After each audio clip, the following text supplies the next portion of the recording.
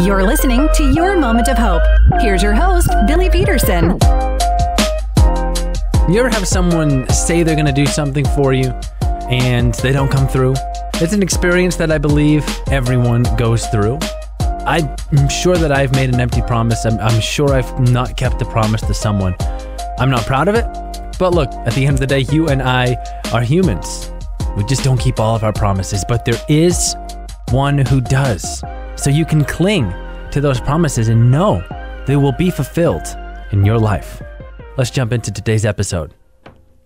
Not sure if you'll remember this. Maybe I'm dating myself here, but there used to be a phrase that would go around and be said all the time promises, promises, kind of sarcastically. Oh, yeah, promises, promises. Why? Because people so often make promises and either underdeliver or they don't keep their promise at all. That's not the same with the God that you and I serve.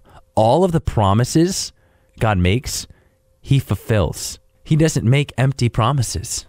He holds true to the promises in His word for your life. Promises that you are never going to be alone. Promises that He is going to take care of all of your needs. Promises that He is faithful. In fact, in 2 Timothy 2:13 the Bible it says, "If we are faithless, he remains faithful." Promises that he loves you. And promises that he still has a plan, a good plan for your life.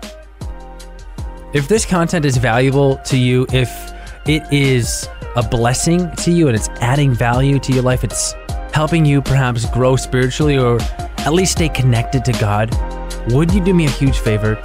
Just tell a friend about it.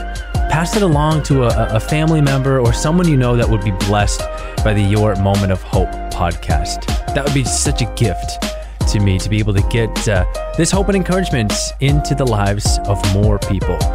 Thank you for your time again today. I, I truly honor it, I value it, and I look forward to seeing you next time on the Your Moment of Hope podcast. Continue to walk forward in faith, my friend.